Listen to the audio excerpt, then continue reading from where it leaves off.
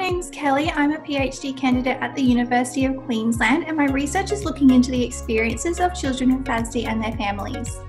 In our recent review of the literature, we found that there is a lot of research into the challenges reported by children and their families, providing clinicians with knowledge regarding the areas in which they require support.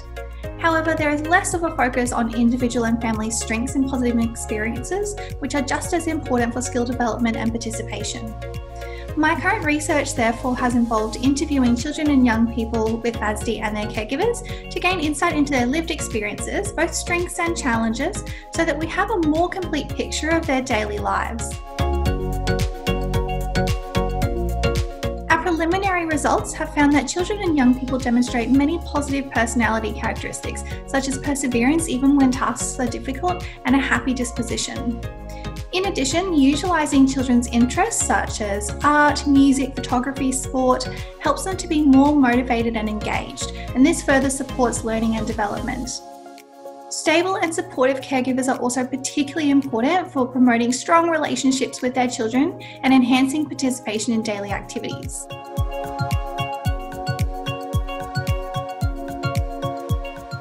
So the implications of my research for children and young people with FASD, their families and health and education professionals is that it is just as important to know children's personal assets and external resources that help them with their daily activities as it is to be aware of the challenges that they experience.